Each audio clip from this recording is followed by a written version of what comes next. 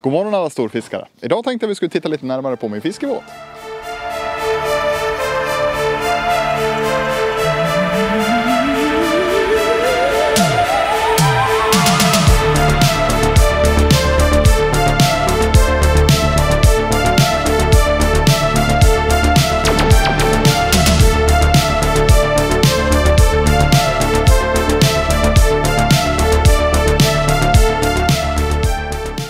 Min fiskebåt är som titeln på videon avslöjar en Kimpel 395 Hunter.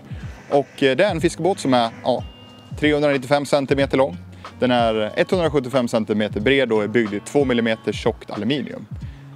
Den är långriggad och eh, tar upp till 45 hästkrafter på utombordaren. Eh, eller max 125 kilo, vilket man nu når först när man hänger på storrovan där bak. Det jag uppskattar allra mest med Kimpel 395 Hunter är förvaringsutrymmena. Här har jag superbra utrymme för alla mina draglådor, både under tofter men även i förvaringsfack. Eh, som ja, blir lite väderskyddade då också. Det här får jag ner alla mina draglådor, flytvästar, matsäck och allt vad jag kan tänka mig behöva. Även under toften längst fram finns det gott om stuvutrymme för ja, diverse saker helt enkelt. Längst bak vid akten så har jag två luckor också. Här blir det mest upptaget av elektronik som vi ska titta lite närmare på senare, men även bränslet då såklart. Men det finns lite utrymme kvar för att, för att stuva undan lite små diverse saker. Varför blev det just eh, en Kimpel 395 eh, som skrov när jag skulle välja fiskebåt? Det jag ville ha var liksom en bra avvägning mellan sjöegenskaper och stabilitet. Och det behöver man titta lite grann på. Man behöver ha ett V-format köl men samtidigt så vill man att den ska vara ganska platt också. Så Kimpel 395 Hunter kvalade faktiskt in som en av de alternativ jag tittade på där den bjuder lite på det bästa av båda världarna. Det är en ganska V-formad köl. Det är inte världens mest stabila båt, det är det inte. Men den tar ju sjön fantastiskt bra. Samtidigt som den är tillräckligt stabil för att fiska från. Vi fiskar utan problem två till tre personer från den här båten. Jag och ja, mina fiskekompisar och sen oftast min grabb hänger med ut och fiskar och vi fiskar utan problem ifrån den här kärran. Så det, det är då absolut inga konstigheter.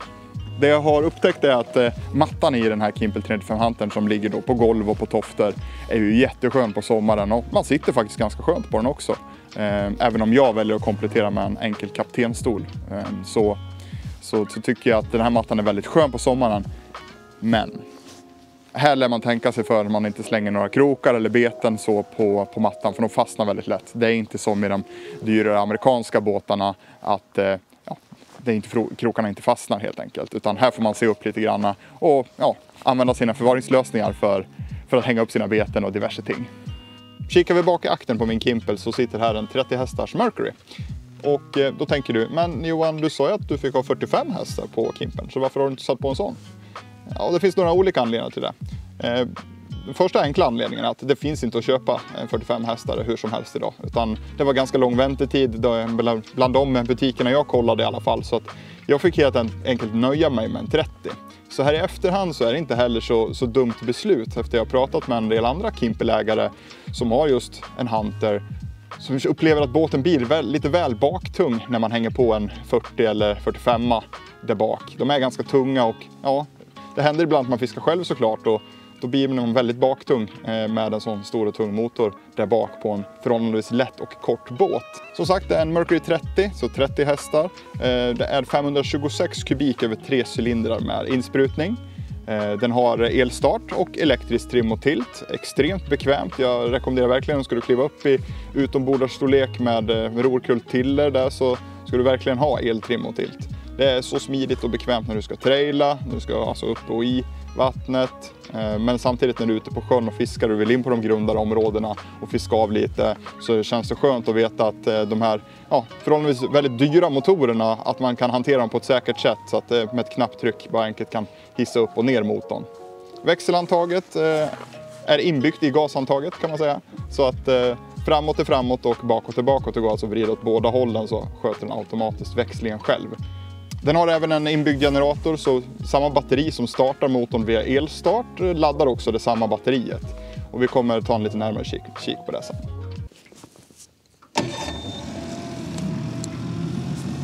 Så låter det när man startar upp och eh, efter röda lampan har släckts där så går den ner i tomgång.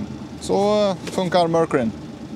Den är ganska tyst där, de flesta fyrtaktsmotorerna idag är ganska tysta. Så att väldigt behagligt. Man kan snacka i båten utan att föra en massa liv. Min upplevelse då med Mercury 30 ELHPT Alltså det, ja, det, är en, det är en väldigt bra motor, det skulle jag verkligen säga. Jag har fiskat med den i några månader nu och det känns riktigt bra. Den har alltid startat, det är liksom inget krångel. Eh, de gångerna jag inte har fått igång det så är det mitt eget, det är ett handhavande fel. Jag har haft växel i eller helt enkelt inte kollat så att den är startklar. Eh, så man måste alltid kolla såklart så att man har ström till den. Eh, så inte huvudbrytarna av eller så att man inte har råkat ha växeln i eller så. Den har även startsnöre, någonting som jag uppskattar. Eh, eftersom jag kör elektronik på startbatteriet så kan det ju hända att man drar, drar ur batteriet så man inte får igång motorn vid elstart. Men då har man alltid snöre att starta med så att man är safe helt enkelt. Jag kommer alltid iväg med, med storrovan. Det jag har upplevt några, några få gånger och jag vet inte om det är relaterat till soppan eller, eller vad det handlar om. Men ibland så när jag har kört ett tag och sen eh, när man kommer och vill sakta ner lite grann så ligger man på lite så här halvfart till en tredjedel gaspådrag och går ner på, eh, på neutralen och vill bara puttra, eh, då, då dör motorn ibland. Och det, det är väl inte skitfräckt, men eh, det har hänt några gånger. Jag ska kolla när jag lämnar in den på service nästa gång vad, vad det kan handla om. Men den startar så himla enkelt igen, det är bara en knapptryckning så är man igång igen. Det, så det är, inget jag har, det är ingen big deal så, men det är någonting jag noterat som, som eh, vore intressant att höra ifall någon annan där ute som har en Mercury 30 eller liknande som har haft ungefär samma fel som kanske sitter på något tips. Låt oss snacka lite trailer också. Eh, den trailer jag fick med båten är en Tiki BE750R och eh, det var lite nervös, undrar om den här trailern kommer passa båten på ett bra sätt och ja, det gjorde den faktiskt. Det krävdes lite injusteringar för att hitta så att den ligger perfekt med kölrullarna mot, eh, mot mitt skrov då. Men jag uppskattar verkligen mer och mer den här trailern och den växer lite grann på mig. Trailer kan ju annars vara någonting som man jäkligt tråkigt att snacka om. Det är liksom inget, inget sexigt med, med en båttrailer men för oss som äger en båt eh, så inser man eh, efter några gånger man har rampat i och ur att det är ganska nice faktiskt med en, med en schysst trailer. Så Tiki BE 750R. Eh, den får lasta 600 kilo och båtars maxlängd är 5,30. Ehm, den har vikbara lysen, någonting som jag tycker kan det är ett extra moment men samtidigt så, så har jag sett att det finns fördelar med det också. Det är att när jag trailar i så ser jag ju perfekt på den här modellen i alla fall. När reggplåten touchar vattnet då är det dags att ge sig. Då, då ligger jag perfekt för att bara dra i handbromsen och gå ut och börja rampa i helt enkelt. Den kommer med gummitorsionsfjädring. Eh, någonting som jag inte visste så mycket om innan jag, innan jag fick, fick den här trailern helt enkelt. Så det, någonting som jag har sett när jag har åkt långa sträckor nu, jag har varit uppe mycket i Dalarna och fiskat. Eh, och man åker på ja, det är väldigt blandade vägar. Det är grus och det är asfalt och det är väldigt skumpigt och gumpigt ibland. Eh, med lite lägre däcktryck och sån här gummitorsionsfjädring då så, så har den faktiskt tagit alla guppen väldigt bra.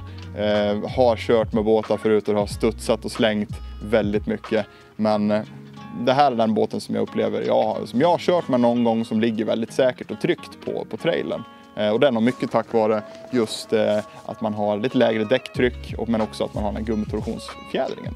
Någonting som jag nästan så här ser som ett måste i efterhand. Det är ett svårt steg att ta för det är äckligt dyrt att köpa de här. Men jag kan faktiskt säga så här, investera i ett par boat buckles. Eh, de kostar extremt mycket pengar för ett jäkla spännband. Det tar emot, jag vet.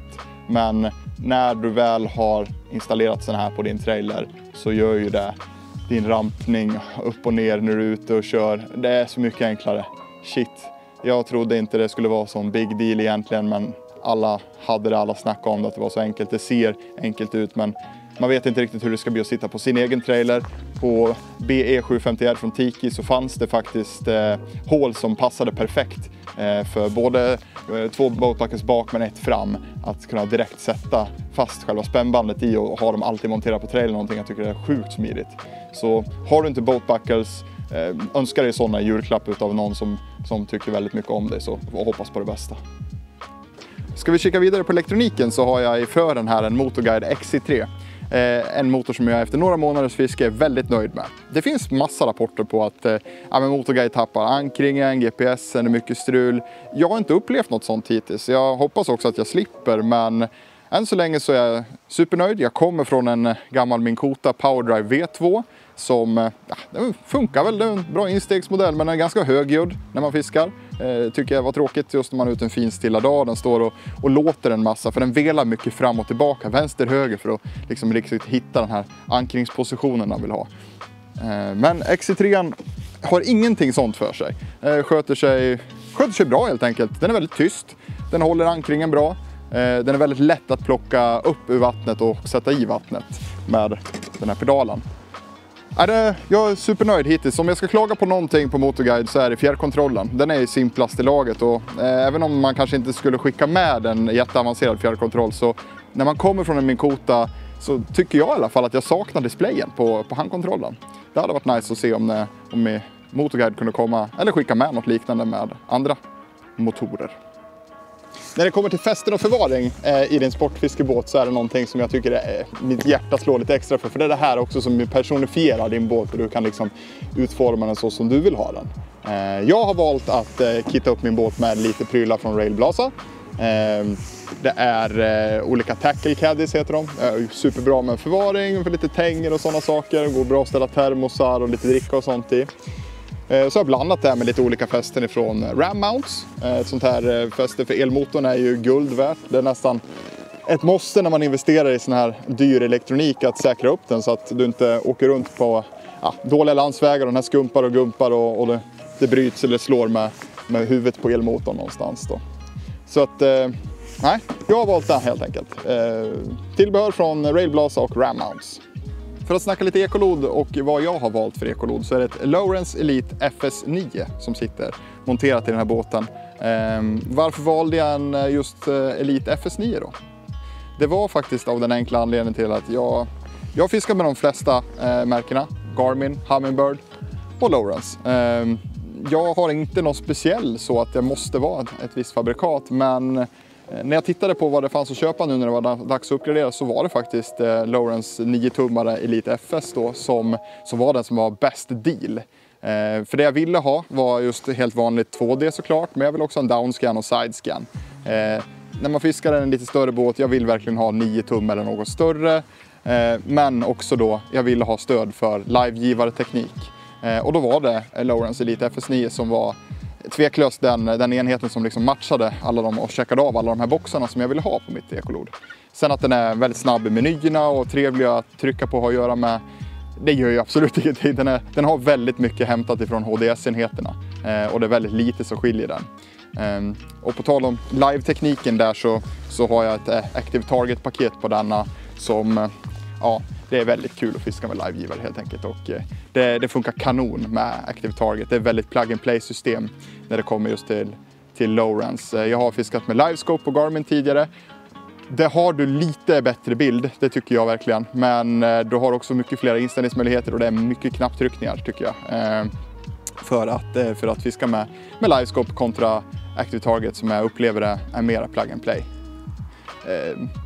ska man säga, i samma andetag som man säger att det här är mer plug and play så ska man veta att när man köper en Active Target-enhet med blackbox och givare och allt kablage så är mitt tips att du börjar med att ladda hem Active Target-uppdateringen till ett SD-kort som du stoppar i ditt, ditt Lowrance Ecolod eh, och kör Active Target-uppdateringen sen när du har installerat allting innan du börjar fiska. Det löser nämligen problemet med den gula kabeln eh, som man använder eh, från Active Target-boxen Eh, som sen går till eh, plus och minus. Men du har också en gul kabel som, som du kan använda för att, eh, som heter Accessory Switch, som är en knapp då för av och på. Och eh, från början när den här enheten kommer, jag tror inte de kommer uppdatera det som ligger i boxarna nämligen, så, så funkar inte den där gula kabeln som sig bör. Utan du kan bara starta enheten med, med den, väcka den så att säga, men du kan inte stänga av den. Kör in den uppdateringen från Lowrance så, så funkar gula kabeln som, som den är tänkt. Det vill säga att du ska kunna stänga av Active Target-boxen eh, av och på med en extern knapp vilket jag verkligen rekommenderar att du installerar. En liten snabb kik på elektroniken och hur jag har gjort det. Vill ni se det här närmare beskrivet så, så hojta gärna till så, så gör vi väl en video om det också. Men eh, enkelt förklarat så har jag ett blybatteri som är, används som mitt startbatteri till, till Mercury men också som driver all elektronik. Kabeldragningen som jag har gjort här är absolut, eh, eh, som ni ser, inte gjort av en elektriker utan en, eh, en glad hemmapulare. Men vet ni vad, den funkar. Eh, så jag kör en kopplingsplint till, till det mesta. Eh, och så har jag en huvudströmbrytare på, som då dödar starten på Mercuryn eh, men som också dödar all annan övrig tillbehörselektronik. Det enda som går på ett eget separat system är eh, litiumbatteriet som, som driver motorguiden. Den har en eh, automatsäkring här och sen går eh, sladdarna hela vägen fram då till motorguiden. På höger sida här så ser ni också blackboxen till Lawrence Active Target som jag har skruvat fast här på baksidan av toften. Lite undangömt på sidan här så har jag också en enkel knapppanel från Biltema med lite 12 volts laddning men det också har eh, belysning men och eh, länspump och eh, själva ekolod av och på men också Active Target. Och största anledningen till att jag har satt dit den här är för att det är skönt att kunna stänga av Active Target-boxen om man är på ett väldigt grunt fiske eller på ett fiske helt enkelt jag inte ska fiska, fiska med livegivare så vill jag inte stå och eh, att eh, blackboxen till Active Target där ska stå och dra ström. Så då är det skönt att kunna stänga av den helt enkelt om man ska göra längre transporter eller om man helt enkelt inte fiskar med livegivare för stunden. Så drar inte den onödigt mycket batteri. Sen är det skönt att ha 12 volts laddning och eh, som knappar då för, för övriga eh, tillbehör i båten. Tack för att du har kikat på genomgången av min eh, Kimpel 395 Hunter. Eh, jag kommer lista alla grejer som jag har i den här båten och vart jag har köpt dem i, i, i beskrivningen så med länkar och så, så, så hittar ni ifall det är någonting som ni är nyfikna på eller sugna på att titta närmare på. Solen börjar på att titta fram så jag tänkte rampa i och sticka iväg och se om man kan fånga några fina fiskar idag. Om du har några frågor om någonting gällande båten eller hur jag fiskar eller, eller så, så är det bara att kommentera på den här videon och eh, Tyckte du den var bra så ja, för all del, ge den en like, kanske till och med subscriba så jag tänker att jag ska fortsätta göra sånt här content. Men eh, fram tills dess så skitfiske!